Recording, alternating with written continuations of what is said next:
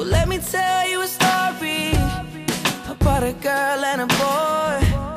He fell in love with his best friend. When she's around, he feels nothing but joy. But she was alright.